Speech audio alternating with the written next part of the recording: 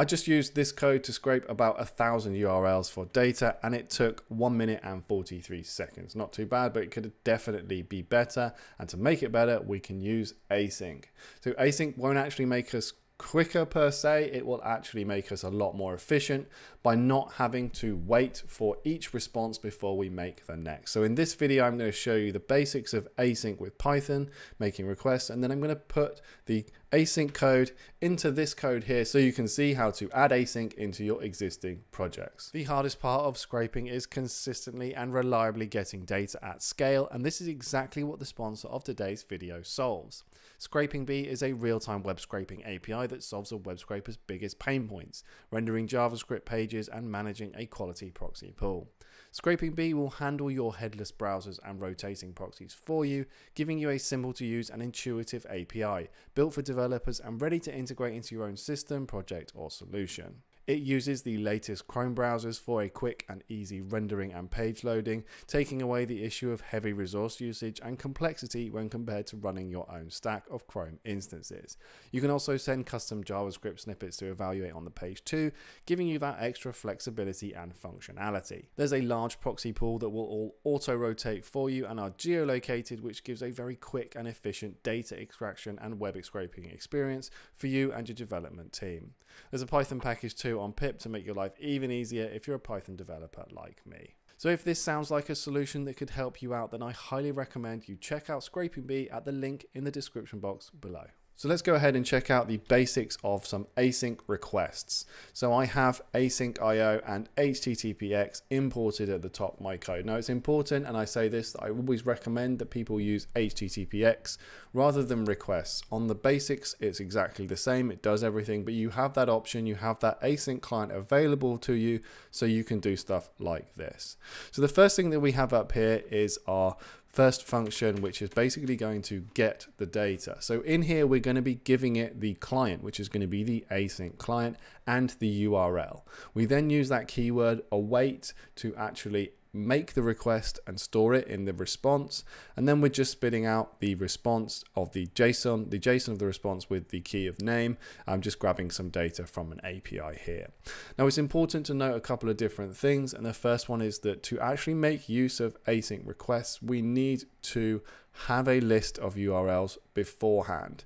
So you need to either know them, know the URLs where you want to go, or you want to uh, actually construct them by pulling them all off of a page or something like that. That's why async is so good for broad crawls because you can easily just get all the links and start to feel out and follow them like that. So that's that. The second function I have here is the main, the async main function, which is where we create the client. I'm going to be using this keyword with, which is our context manager, which means all of the connections are going to be managed and closed for us. Then I have this uh, empty list tasks, which is where we're going to store what we want the async code and the client to do. And here I'm just basically creating a list of URLs in here. Now I generally tend to do this outside of my async function and pass them in because this information is probably going to come from somewhere else anyway.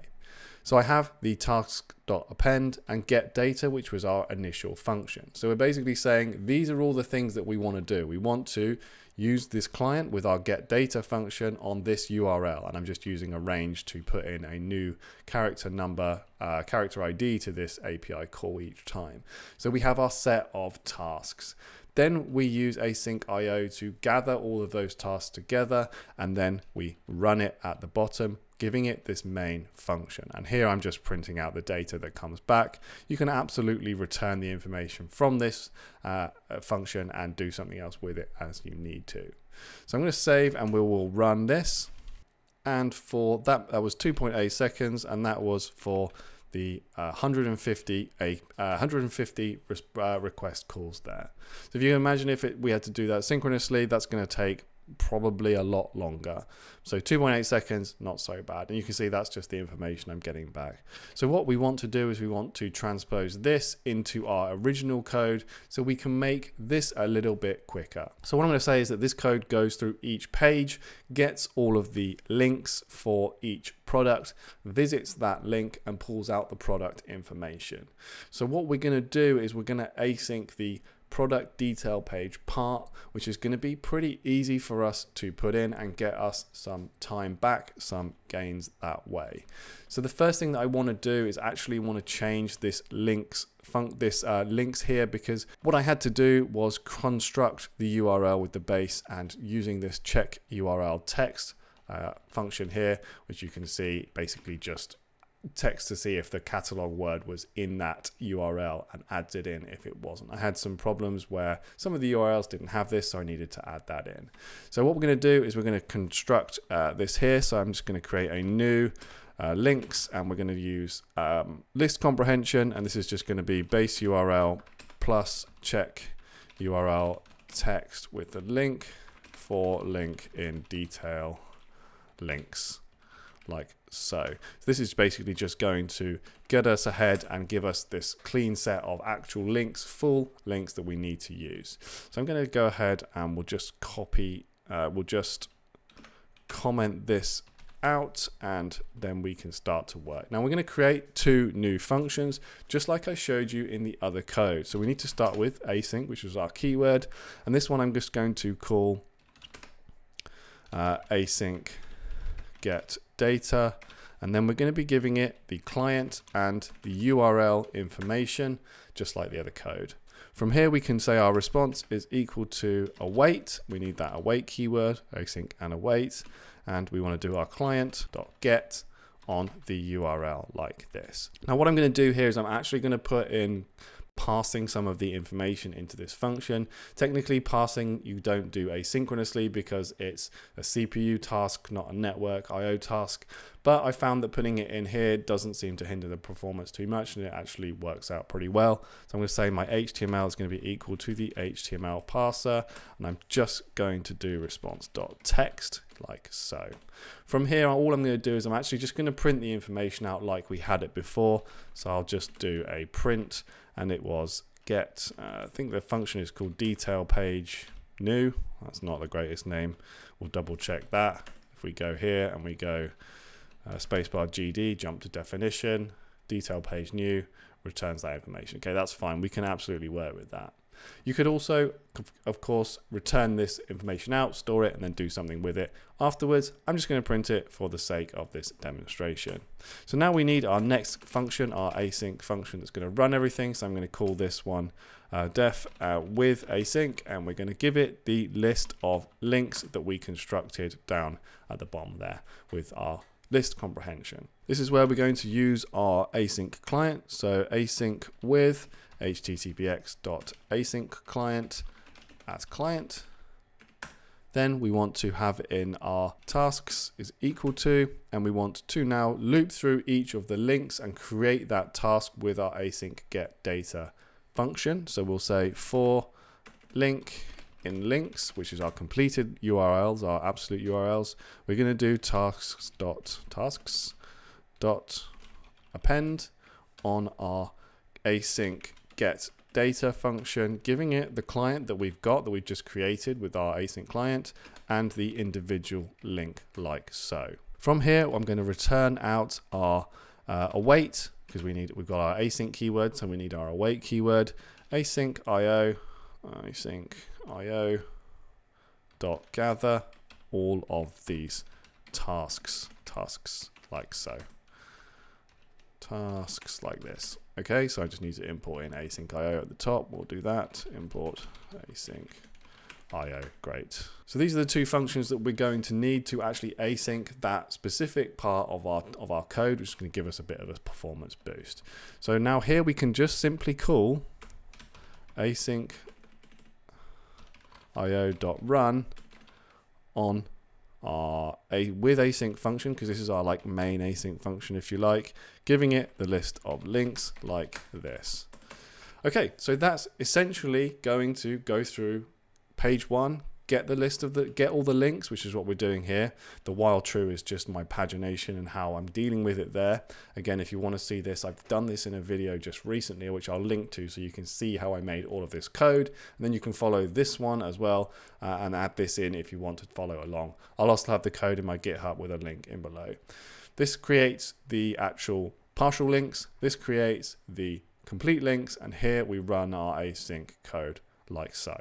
Okay, so we'll go and run and we should see it being slightly different. So it's coming through and you can see the chunks of the data that's coming through much quicker and we can see we're just going through the pages.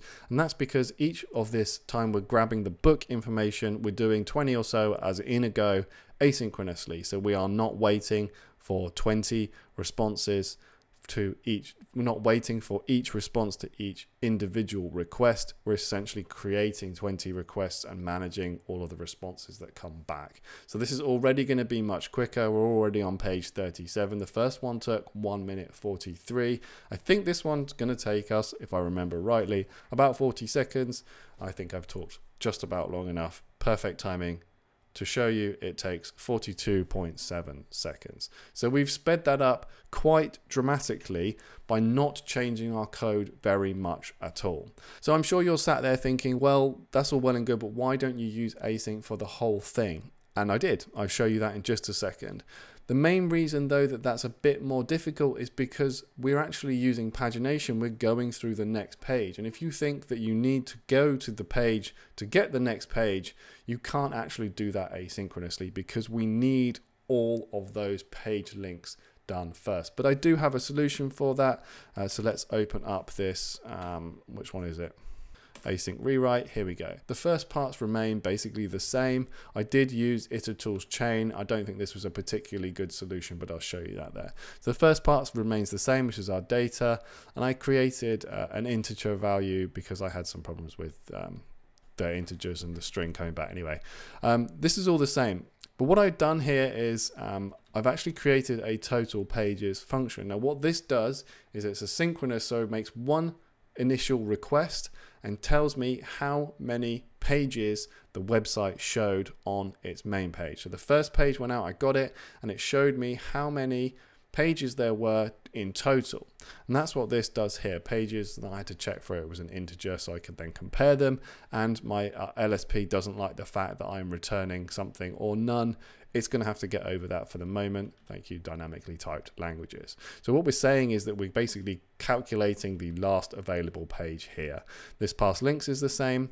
Get links is now an async function so we can actually go ahead and run this so you can see we're creating that here and this is basically getting all of the links for the pages so I'm going to go ahead and get the total pages here that's the function I just showed you then we're creating our tasks for each individual um, pagination page so one total page of all of the products that goes there then the same thing, basically what we just had, getting the details. And then down here, I'm basically going through each and every single one. So each page is now async. It returns its data. We then get all of the links from that, which we can then go out and get that way. So this results in a much more, much speedier uh, time async rewrite, a much speedier response because we can just do it all and grab it all almost instantly. And the time spent here is basically parsing the information 7.6 seconds. So we have gone from synchronous about 1000 requests for 1 minute and 43 seconds down to asyncing part of it nice and easy which took about 40 seconds down to rewriting it to a complete async with a few different solutions that we needed to implement to getting it down to 7.6 seconds. And this returns exactly the same data still a thousand odd pages much much quicker. So if you've enjoyed this video I'd really appreciate it if you like comment and subscribe. It really helps me out. And also this video right here I think you're going to find interesting as well. So click on that one now